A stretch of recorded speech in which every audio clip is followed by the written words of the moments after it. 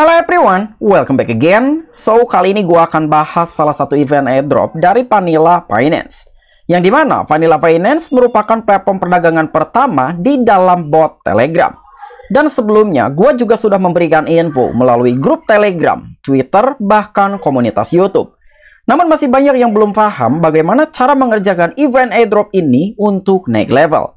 Dan oleh karena itu, gue akan tutorialkan bagaimana cara mengerjakan event airdrop dari Vanilla Finance. Oke, sebelumnya kita akan bahas dulu apa itu Vanilla. Jadi Vanilla satu-satunya platform perdagangan terdesentralisasi yang memungkinkan Anda memiliki satu Bitcoin seharga 10 dolar. Bagaimana Anda bisa membeli satu Bitcoin hanya dengan 10 dolar dan mendapatkan keuntungan 10 kali lipat dalam 10 menit tanpa risiko likuidasi dan Vanilla Finance membuat trading lebih mudah. Misalnya, jika Bitcoin di harga 67 ribuan US dollar dan Anda yakin Bitcoin akan naik 50 dolar dalam 10 menit, tetapkan harga target Anda pada 67.050-an US dollar dan Anda akan mulai mendapatkan untung setelah harga melebihi harga target Anda. Katakanlah Bitcoin mencapai 67.300-an US dollar dalam 10 menit dan Anda akan mendapatkan 250 US dollar dan biaya Anda adalah 10 dolar yang di mana itu merupakan 25 kali lipat investasi Anda dalam 10 menit.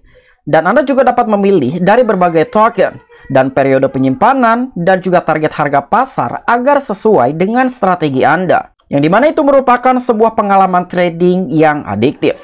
Nah, jadi secara kesimpulan, pada saat kita melakukan trading ataupun perdagangan di dalam platform Vanilla Finance, itu hanya diberi waktu 10 menit. Walaupun dalam aktivitas trading, tentunya tidak ada batasan waktu yang ditentukan oleh suatu platform. Katakanlah kita menggunakan bursa Binance untuk melakukan trading futures, tentunya kita bisa melakukan open posisi bergantung pada durasi yang sudah kita tentukan.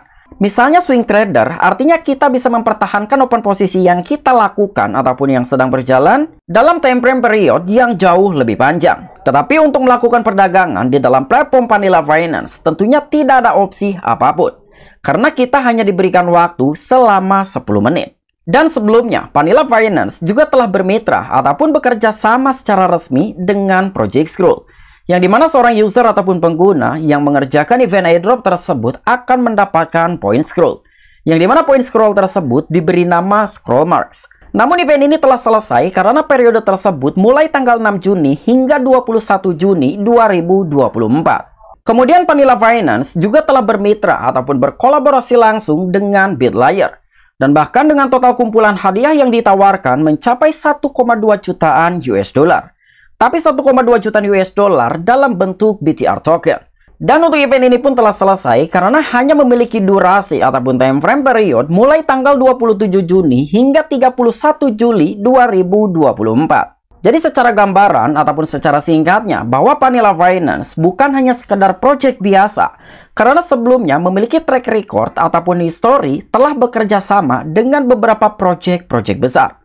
Tetapi yang perlu kalian garis bawahi untuk orang-orang ataupun pengguna yang berpartisipasi dalam event Vanilla Finance, baik yang berkolaborasi langsung dengan Scroll ataupun Bitlayer, tentunya membutuhkan modal karena event tersebut merupakan retroaktif. Berbeda cerita dengan salah satu event yang akan gua bahas kali ini. Tentunya event tersebut merupakan event gratis, artinya kalian bisa mengerjakan tanpa modal. Nah, jadi salah satu event yang sedang berlangsung dari Project Vanilla Finance merupakan kolaborasi resmi dengan Ketizen. Dan bahkan Ketizen juga telah mengumumkan secara resmi menggunakan pegangan Twitter pribadinya memperkenalkan Vanilla Finance yang merupakan bot perdagangan pertama di dalam ekosistem Ketizen. Artinya Vanilla Finance sudah secara resmi masuk ke dalam ekosistem Ketizen. Dan Ketizen merupakan salah satu garapan airdrop yang sangat potensial dan bahkan wajib untuk kalian kerjakan. Jadi menyelesaikan tujuan peta jalan Q3 kami, dan kami sangat gembira memperkenalkan Vanilla Finance kepada semua netizen. Kucing suka kuns dan semua kucing yang berpartisipasi dalam acara ini dapat mengklaim hingga 18 ribuan kuns di Vanilla. Dan Genesis Mining nikmati hadiah tambahan 30% eksklusif hanya untuk komunitas netizen. Nah, jadi sudah cukup jelas bahwa salah satu event yang sedang berlangsung adalah event Vanilla Finance yang berkolaborasi langsung dengan netizen. Kemudian bagaimana caranya untuk mengerjakan event airdrop dari Vanilla Finance yang berkolaborasi langsung dengan netizen? Pertama, silakan kalian buka bot Telegram Vanilla Finance atau nanti untuk linknya akan gue sertakan di deskripsi. Dan setelah kalian berhasil dibawa ke dalam halaman seperti ini, namun sebelum kalian berfokus untuk meningkatkan level kalian, yang di mana level juga mempengaruhi dalam pendapatan poin per jam kalian. Tetapi di sini gue akan memberikan sedikit gambaran tentang fitur-fitur yang terdapat di dalam Vanilla Finance. Pertama di sini ada Earn, yang kedua Trade, dan juga Friends. Jadi pada saat kalian pertama kali masuk ke dalam bot Vanilla Finance ataupun halaman seperti ini, kalian berfokus ke fitur Earn. Nah, jadi di dalam fitur Earn ini tentunya ada level-level yang perlu kalian capai. Sebetulnya dalam meningkatkan level ini sangat mudah, namun ada beberapa tugas yang perlu kalian selesaikan. Yang di mana tugas-tugas tersebut ini seperti Go to Getizen. Kalian akan mendapatkan 200 coins. Kemudian join Vanilla Community, kalian akan diberikan 100 coins. Join Ketizen Community, kalian juga akan diberikan 100 coins. Dan begitu juga dengan beberapa tugas-tugas yang lain. Dan mungkin kalian sudah mengerti bagaimana cara mengerjakan tugas-tugas tersebut. Tetapi di sini akan gua kasih tahu bahwa di halaman paling bawah ini ada sebuah check-in daily. Dan juga kalian harus menonton tutorial ataupun tugas beginner tutorial. Jadi pertama, silakan kalian selesaikan tugas beginner tutorial untuk mendapatkan 1000 coins. Kemudian silakan kalian check-in daily dengan klik bagian go Nah, jadi untuk melakukan check-in daily di dalam bot Vanilla Finance, tentunya ini tidak membutuhkan modal sama sekali. Karena ada juga beberapa garapan Telegram, ketika kita melakukan check-in daily, itu kita perlu menyiapkan coin ton. Namun untuk mengerjakan event airdrop dari Vanilla Finance, ini benar-benar 1 juta persen gratisan. Dan untuk melakukan check-in daily-nya, kalian cukup klik bagian klaim. Nah, jadi lebih kurangnya seperti itu cara menggunakan Nah, jadi lebih kurangnya seperti itu cara melakukan check-in daily di dalam Vanilla Finance. Dan silakan kalian lakukan check-in daily secara rutin karena jika kalian melakukan check-in daily tanpa putus, coins ataupun poin yang akan kalian dapatkan tentu akan terus bertambah. Nah, jadi mungkin itulah tugas-tugas yang perlu kalian selesaikan, yang di mana itu terdapat di dalam fitur Earn.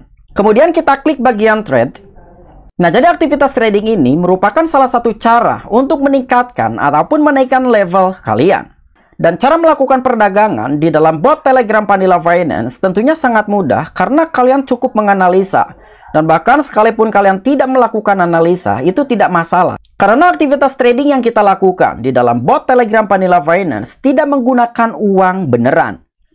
Jadi itu tergantung kalian apakah kalian ingin melakukan trading secara serius atau kalian hanya ingin meningkatkan volume kalian. Jadi saran gua, silakan kalian lakukan aktivitas trading sesering mungkin, jangan mencari untung, tetapi kalian berfokus untuk meningkatkan level kalian.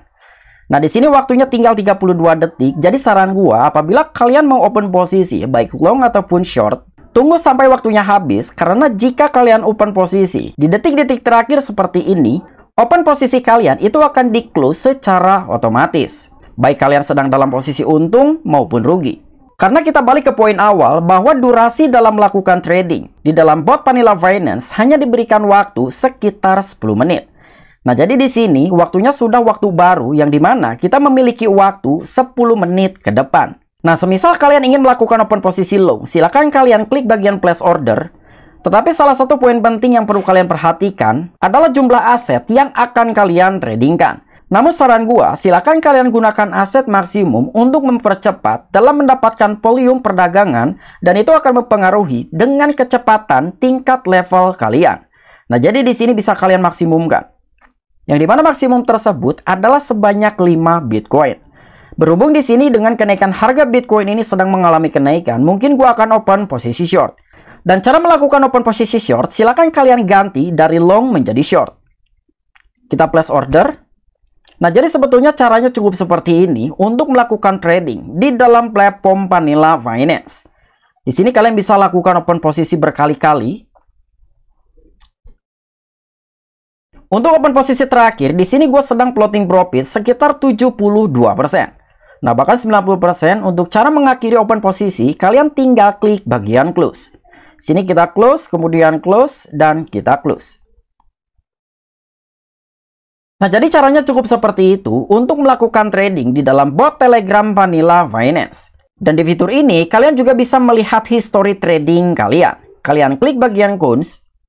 Di sini ada My History. Nah, jadi di dalam fitur My History, ini merupakan catatan trading kalian di dalam bot Telegram Vanilla Finance. Apakah kalian pernah profit atau loss? Tapi gue tidak terlalu mempermasalahkan apakah gue profit ataupun loss. Karena yang gue fokuskan adalah untuk meningkatkan level dan juga volume perdagangan.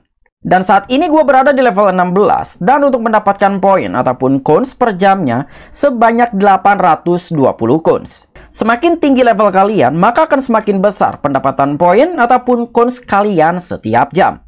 Kemudian di fitur Friends, kalian bisa mengambil link referral kalian untuk kalian sebarkan di beberapa sosial media kalian. Dan per satu orang yang berhasil kalian invite ataupun bergabung dalam event airdrop Vanilla Finance, kalian akan mendapatkan 1000 coins. Jadi silakan kalian undang teman-teman kalian sebanyak-banyaknya. Nah, jadi lebih kurangnya seperti itulah bagaimana cara mengerjakan event airdrop dari Vanilla Finance untuk meningkatkan ataupun menaikkan level kalian. Apabila kalian memiliki opini ataupun pendapat pribadi, silahkan diskus di kolom komentar. I'm Piki, back to you.